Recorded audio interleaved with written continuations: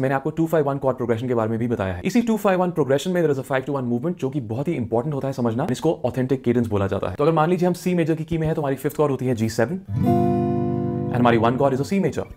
तो इसमें जो हमारी फिफ्थ कॉर्ड है G7 इसके हमारे नोट्स होते हैं G B D F इस डोमिनेंट सेवंथ कॉर्ड में दो नोट्स होते हैं जो बहुत ही इंटरेस्टिंग होते हैं which are the B and the F जो हमारे third and the seventh note होते हैं। This is a B and this is the F अब इन्हीं दोनों नोट्स को अगर मैं एक साथ प्ले करूँगा तो this is not a very nice sounding interval जो साउंड होती है, थोड़ी सी रेस्टलेस होती है, थोड़ी डिसोनेंस होती है, इसको बोला जाता है ट्राइटोन अब ये ट्राइटोन जो होती है, ये रिजॉल्व करना चाहती है, जो बी नोट है this wants to move up to a C हमारा जो एफ़ नोट है it wants to move down to an E so हमारा B and F wants to resolve to a C and E right आपको सुन के पता लग रहा है? It's a very nice resolution and ये जो हमारे सी एंड ई नोट्स होते हैं, हमारे सी मेजर में आते हैं सीई जी में. इसलिए हमारा G seven to a C major resolution जो होता है, वो सुनने में बहुत अच्छा लगता है. That is your authentic cadence